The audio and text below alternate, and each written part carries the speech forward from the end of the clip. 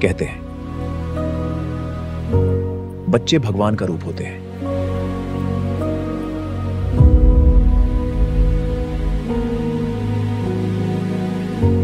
अगर उनको सही परवरिश, सही शिक्षा दी जाए तो वो आसमान को छूने की काबिलियत रखते हैं। लेकिन कुछ माँ बाप अपने बच्चों को, बस आज की इस कंपटीशन से भरी दुनिया में अकेला छोड़ देते हैं। कहते हैं, जा बेटा, इंजीनियर बन जा। डॉक्टर बन जा। लेकिन कोई नहीं सोचता कि बच्चा किस चीज़ के लिए बना है। उसे क्या करना है? बस इस चीज़ को बदलने के लिए मैं टीचर बना। और मैं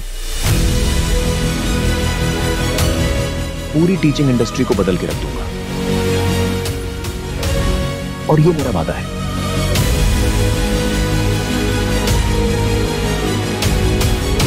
क्या तुम मेरा साथ दोगे? ईशा।